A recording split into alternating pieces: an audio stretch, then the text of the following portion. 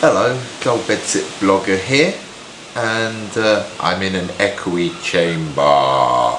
Ooh, yes.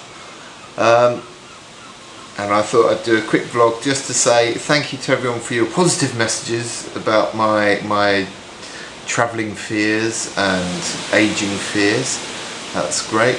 Um, this afternoon I think I'm going to be doing an interview on Brighton and Hove Community Radio with uh, Sasha who does a radio show um, to talk about going to Burning Man.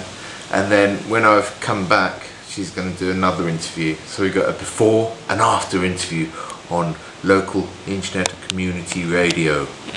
Um, so uh, yeah that's about it really. So but thanks ever so much to um, everyone who gave me a positive message weirdly after that vlog the vlog I did about fear being a big emotion um, loads of people left being subscribed to me which was um, a bit weird. I didn't say anything offensive did I? I don't think so.